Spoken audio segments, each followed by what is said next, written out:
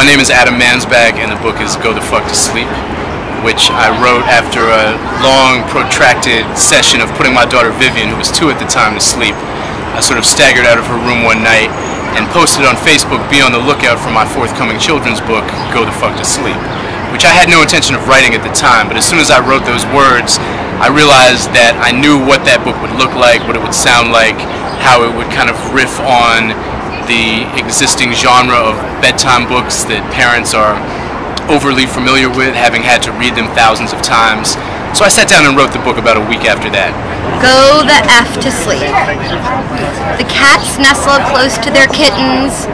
The lambs have lain down with their sheep, the sheep.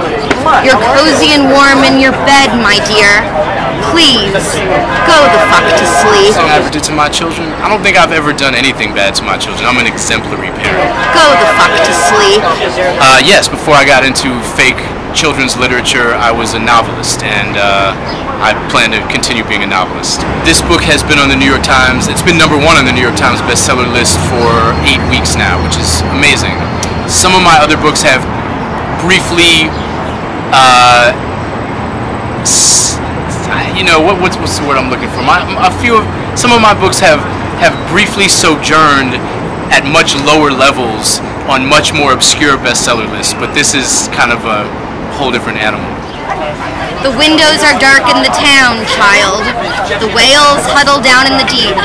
I'll read you one last. I'll read you one very last book if you swear you'll go the fuck to sleep. But that it only took me two days, whereas writing a novel takes anywhere from you know two to five years, and is an agonizing, soul-searching process of discovery and exploration. So, you know, from a from a cost analysis basis, this one was a lot more successful. Um, but you know, I'm someone who values literature and believes in novels, so when I look at the future, I see myself continuing to write literary fiction more so than obscene fake children's literature.